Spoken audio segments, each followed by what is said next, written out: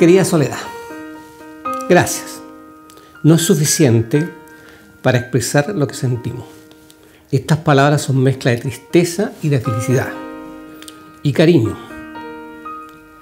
Pues tenemos que decirle adiós a nuestra querida colega después de 40 años en distintos departamentos del municipio. Su ciclo ya concluyó para empezar otro que se ganó con mucho esmero y dedicación. Solo nos queda desearle muchos éxitos en su nueva vida y que Dios la siga bendiciendo infinitamente en cada paso que dé.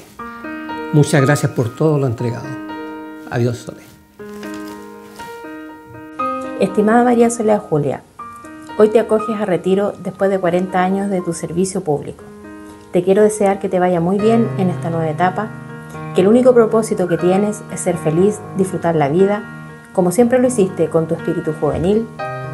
Te quiero dar las gracias por todo lo que hiciste por nosotros en la oficina de parte. Fuiste siempre muy comprometida en tu trabajo. Te deseo que te vaya muy bien, que tengas mucha salud y lo pases súper bien. Te lo deseo de todo corazón, tu colega Juanita Beatriz. Nos vemos. Chao. Hola, quiero hablar de mi tía María Soledad Zúñiga, mi tía Sole, eh, quien desde que tengo memoria trabajó en la municipalidad de Melipilla.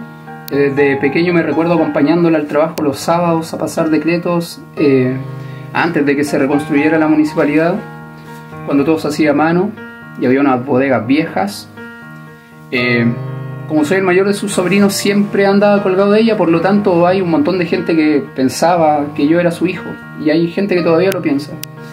Mi tía ha sido testigo del paso de muchas y diversas administraciones, eh, ha visto llegar un montón de personas que se han ido integrando a la administración, siempre ha sido responsable, responsable con las actividades que le ha tocado hacer, eh, de hecho es una de las cosas que más admiro de ella, esa capacidad de hacer que funcione la oficina de partes tantos años.